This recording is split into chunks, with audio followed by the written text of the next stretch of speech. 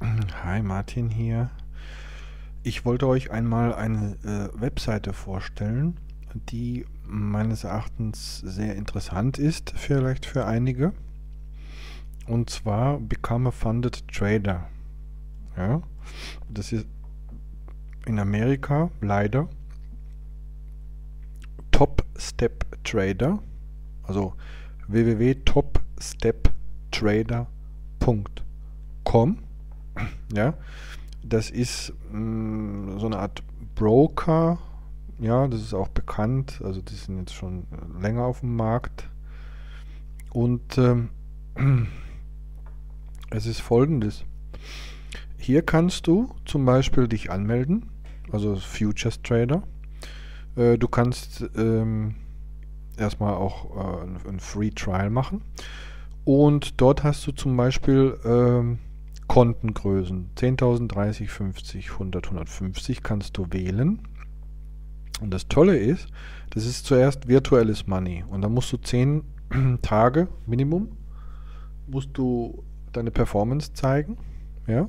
Das heißt zum Beispiel, wenn du jetzt hier die Combine heißt es, Trading Combine, das sind zum Beispiel, wenn du sagst, ich wähle jetzt 10.000, dann darfst du nur zum Beispiel einen S&P handeln am, am, zur gleichen Zeit. Das heißt, du kannst 100 Mal rein und raus, aber du darfst immer nur einen offen haben. Du darfst am Tag nur 300 in der Verlustzone sein. Maximaler Drawdown ist natürlich jetzt 1000. Und wenn du 1000 Dollar erreichst, dann bekommst du ein Funded Account, also ein echtes Account. Ja, ein echtes Konto vom Broker gestellt. Ja, und jetzt kommt das Interessante.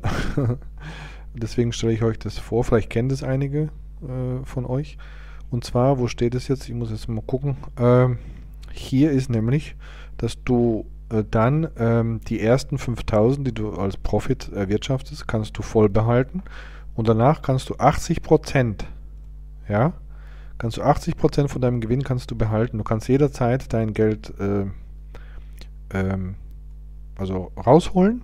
Ja, du handelst hier äh, mit geringen Kommissionen. Ich glaube, das, äh, soweit ich weiß, zu 80 Prozent musst du das selber tragen und die Data Fee. Also sprich, wie auch im normalen Trading hast du dann die vielleicht 100 Dollar die Data Fees und dann halt die Commissions, die du machst. Und wenn du guter, ein guter Trader bist, ja, kannst du, ohne dass du jetzt selbst das Geld haben musst, du kannst zum Beispiel jetzt auch ein Combine wählen, also ganz kurz noch, Price per Month heißt, das ist halt eben, ähm, verdienen die halt ihr Geld, das ist ja auch nicht, nicht so schlimm. Du zahlst 95 Dollar im Monat, ähm, bis du das erreicht hast, dein Ziel. Das heißt, wenn du das nach, also nach 10 Tagen, ganz kurz, Entschuldigung, ich muss jetzt mal suchen, wenn du das nach 10 Tagen erreicht hast, dein Ziel, ja, diese 1000, dann brauchst du natürlich dann nur noch nur einen Monat diese 95 Dollar. Und wenn du sagst, naja gut, ich brauche länger, das ist egal, ja, zahlst halt jeden Monat. Und das ist, glaube ich, nicht refundable, soweit ich weiß. Es gab mal, glaube ich, refundable. Ich glaube, die haben das aber geändert. Das ist aber überschaubar. Warum? Weil du kannst dann erstens im virtuellen, das ist also zuerst, handelst du ja nochmal diese 10.000 im virtuellen Konto. Ja? Handelst du im virtuellen. Und wenn du diese Ziele erreichst, das heißt, du darfst weiß nicht, was er da ständig macht. Das heißt, du musst diese Ziele erreichen. Ja? Du musst dich nach diesen Regeln halten. Darfst am Tag nicht oder generell nicht 1000 im Minus sein. Ja, du darfst am Tag nicht 300 im Minus sein. Und das ist, glaube ich, grundsätzlich darf dein Drawdown nicht 1000 sein. Das heißt, es sind schon für disziplinierte Trader. Ja, du kannst die Produkte, die du handeln kannst, sind zum Beispiel Permitted äh, Products. Das ist Trading Stock. Ja, da könnt ihr das ja nochmal selber alles nachlesen, dieser Drawdown, Tailing Drawdown. Das ist wieder was anderes. Bin ich da, Entschuldigung, falsch gelandet. Ich wollte da woanders anklicken, aber das ging gar nicht, das Anklicken. Ich wollte nur sagen, ihr könnt die, die meistgehandelsten ähm, äh, Permitted Items, oh, warum Times? Warte mal. Ähm, Hier, guck mal, ihr könnt den S&P Mini, ihr könnt den Nikkei, Nasdaq handeln, Australian, British, Canada. Die könnt ihr alle handeln. Leider ohne Option. Finde ich sehr traurig darüber. Ist eigentlich auch nicht ganz, sagen wir mal, so ohne.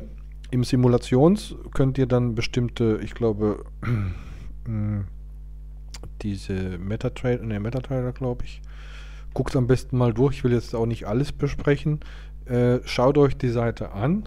Die ist sehr interessant. Die wichtigsten Sachen sind, wie gesagt, dass, mh, dass du hier vor allem, wie gesagt, und ihr bekommt dann, Entschuldigung, im echten Geld nochmal, wenn ihr diese Combine wählt, bekommt ihr dann 10.000 in echt.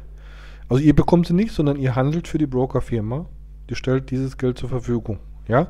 Und ihr handelt dann, als wäre es euer Geld und ihr dürft 80% behalten. Das ist mehr als fair, muss ich sagen. Ja? Und 20% bekommen natürlich die. Die haben natürlich das Risiko des Kapital, ihr habt das Risiko eben der Commission und der Data Fee. So. Ihr könnt aber jetzt sagen, ja, ich bin ein guter Trader, ja, und mache jetzt ein 100.000 Konto und das heißt, da zahlt ihr jetzt halt mal 325 Dollar, wenn ihr aber gut seid, wahrscheinlich nur für einen Monat, ja, bis ihr das Ziel erreicht habt. Das sind also 10 Prozent, nicht mal, nee, Quatsch, sind doch 6, sind 6 Prozent. Wenn ihr die erreicht, bekommt ihr 100.000 zum Traden und wenn ihr da jeden Monat 5 Prozent macht, könnt ihr davon 8 Prozent behalten. Ist doch ein Wort, ja. Und für die ganz hartgesottenen hast du sogar ein 150.000 Konto, ist ein bisschen teurer, ja. Ich glaube, so in dem Bereich 150, äh, sagen wir so, es wird es realistisch sein, macht auch mehr Sinn. Ich würde jetzt nicht mit großen starten, egal wie gut man ist. Ähm, das verlockt dann nur. Ich würde so mit 30, 50 anfangen. Ich würde vielleicht eher die mal mit 5 Lot, das können, ja, sagen wir vielleicht, die würde ich vielleicht wählen. Also weiß ich nicht.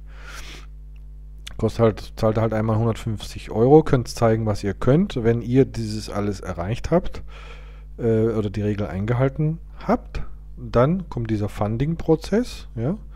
Das heißt Funded Trader Preparation, das ist der letzte Step, dann schauen die sich das an, wie du getradet hast, ja, mit dem Drawdown und etc. Und dann geht's los. Das heißt, du kannst, nachdem du das Video hier schaust, wenn du ein guter Trader bist, äh, wenn du dich anmeldest, äh, vielleicht äh, schon in zwei, drei Wochen dieses Geld, also das, was du wählst, traden und 80% behalten. Ist doch klasse, oder? Also ich finde es gut. Der Nachteil finde ich halt ein bisschen diese Data-Fees, ja, die sind so, glaube ich, 80 Dollar, die sind so ein bisschen überteuert leider. Von den Commission ähm, finde ich es ganz okay. Ich habe zwei Leute, die das machen. Ich persönlich mache das jetzt nicht. Aber die sind eigentlich ganz zufrieden, ist auch seriös. Ihr habt auch kein Risiko in der Hinsicht. Das heißt, diese 120 Dollar, mein Gott, das kann man investieren. Ich finde die grundsätzliche Idee sehr gut von denen. Es gibt auch da auch kaum Konkurrenz in Amerika, in Europa sowieso nicht, was ich sehr traurig finde. Ich bin überzeugt, es gibt viele gute Trader zu Hause, die haben aber halt vielleicht nicht die Möglichkeiten oder das Geld, aber haben ein Wissen, haben Möglichkeiten, haben vielleicht persönliche Schicksale oder aus irgendwelchen Gründen halt die finanziellen Mittel vielleicht nicht, ähm, dass sie nach vorne kommen und da wäre es doch mal vielleicht auch in Deutschland, überlege ich mir nämlich vielleicht auch mal mit, mit ein paar Leuten, dass man sowas ähnliches auch mal in Deutschland macht. So eine Firma, also so einen Broker muss man finden. Aber nee, da habe ich schon einen. Ich habe schon einen amerikanischen Broker, wo ich in, euch einen, einen DAX-Future äh, für ungefähr 80 Cent verkaufen kann. Das heißt 80 Cent, ich äh, glaube Half-Turn oder Round-Turn. Ja, zum Beispiel. Also billiger als sogar IB bin ich. Ähm, das heißt, man könnte mit so einem Broker hier zusammenarbeiten. Wir brauchen Sponsoren. Das heißt, eine Million muss da sicherlich äh, zur Verfügung stehen, wenn man halt 10, 20 Trader hat. Man kann es ja vielleicht auch erstmal jetzt zwar nicht auf 150 machen, man kann sich ja auf dem 30-50er Bereich bewegen, so bei 20 Tradern. Jetzt könnt ihr ja selber mal ausrechnen, wenn ihr 20, weil ich, ich so, ich, das ist so eine Art Auswahlverfahren. Ja? Das heißt, die Menschen, die Geld haben, brauchen jetzt auch nicht investieren, sage ich mal, sondern die sagen, ich hole mir die besten Trader, ich gebe denen das Geld zur Verfügung und wenn die gut sind, dann machen die mir 20% von dem Monat, in der Woche, was auch immer. Ist für mich immer noch mehr Rendite, als wenn ich das jetzt irgendwo selber verwalte oder was weiß ich. Wo vor allem die Leute haben natürlich Motivation. Ja. Das heißt, wenn, wenn ich 100.000 zur Verfügung stelle und das ist ein guter Trader, dann macht er mir 20.000 vielleicht im Monat oder 10 da komme ich immer noch besser davon. Ja? Das heißt, ich finde die grundsätzliche Idee, würde ich gerne mal in Deutschland realisieren. Das würde mich mal reizen. Ja, allein auch schon vom, vom Interessen her gibt es da kaum irgendwelche Sachen.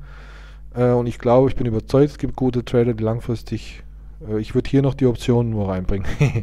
ja, weil ich finde das schon wieder nicht realistisch, ja, dass du den Future reingehst ohne Absicherung. Das habe ich denen auch mal geschrieben, aber da habe ich keine Antwort, bekommen, ja. Ich hätte da noch die, die Optionen als, sag ich mal, äh, Pflicht vielleicht noch reingemacht. Und zwar nicht um Schika zu schikanieren, sondern um beide Seiten zu schützen.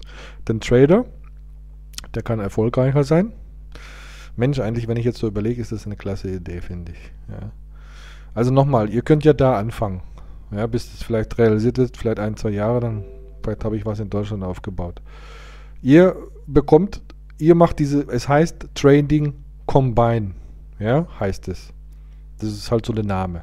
Und dann könnt ihr wählen, sagen, okay, ich, ich möchte jetzt 30.000, ich kann drei Instrumente gleichzeitig offen haben. Maximal am Tag darf ich nur 500 verlieren, generell nur 1500 und mein Target 15. Wenn du dieses Target erreicht hast, nach 10 Tagen, Minimum. Also du musst 10 Tage traden. Warum musst du 10 Tage traden? Ist ja klar. Man kann ja einen Glücksgriff haben. Ja, kann sein, du hast, du erwischt mal einen schönen Move, hast gleich 1.500. Das heißt aber nicht, dass du ein profitabel Trader bist, sondern die wollen eine Konstante haben. Ja, ist ja klar. Die wollen sehen, vor allem wollen die sehen, wie du dein Risikomanagement, Money Management handhabst. Das ist ja eben die Kunst des Tradens. Das heißt, Du musst genau wissen, wo du deine Stops platzierst und wie viel du Risiko eingehst. Und dadurch, wenn du das schaffst, nach 10 Tagen, na, nach 10 Trades, du musst 10 mal traden, dann hast du einen guten Durchschnitt, dann hast du, sag ich mal, ne, einen, einen, äh, herausgefunden, dass derjenige das drauf hat in irgendeiner Form. Ja, und dann kriegst du das Geld in echt, also du nicht, wie gesagt, du verwaltest das sozusagen selber und bekommst 80% von das. heißt, wenn du Super Trader bist und du machst 10% im Monat oder 20 im Trading, hast du 6000, dann kannst du 4000 behalten und hast kein Kapital eingesetzt. Ja, und ich glaube, man kann auch später dann, wenn man gut ist, werden diese sicherlich mehr zur Verfügung stellen. Das heißt, de denkt aber jetzt nicht in großen, so Hunderttausenden, sondern wenn ihr auch nur 10% im Monat macht, und das ist jetzt gar nicht so viel, guck mal bei 30.000, 10%, 3.000, wenn wir mal im S&P im Monat 10 schöne Moves kriegen, wenn man nicht so oft treten, aber vielleicht diese, wenn er diesen Trend ein bisschen erwischt, dann habt ihr die 1.000, 2.000 hier locker drin. Das muss schon drin sein als Trader oder 3. Das ist eigentlich eine schöne, schöne Einnahme. Deswegen stelle ich das gerne vor. Ich mache auch keine Werbung, ich kriege auch nichts von denen. Ich bin, bin denen gar nicht verbandelt, aber ich finde halt die Idee klasse, muss ich schon sagen grundsätzlich. Ja, die haben sich auch verbessert, die haben einige Sachen optimiert, das heißt, du kannst denen auch schreiben, wenn dir irgendwas nicht gefällt, ja. Und die sind da sehr offen. Du hast auch hier so ein Radio-Expertenteam, wenn diejenigen von euch, die Englisch können, äh, sind da halt Leute, die, die helfen euch, wo es nur geht. Äh, du kannst andere Trader können dir dazuhören, die Erfolg haben. Also die fanden, jede Woche fanden die fünf oder zehn, zwanzig Trader kommen da dazu, weltweit. Finde ich eine klasse Idee, finde ich, ja okay, vielleicht habe ich Interesse geweckt, schaut es euch mal an. Wenn ihr Fragen habt, könnt ihr mir auch gerne mal eine Nachricht schicken. Also ich habe da so mal da reingeschnuppert, ja, und ähm, finde das eigentlich ganz okay.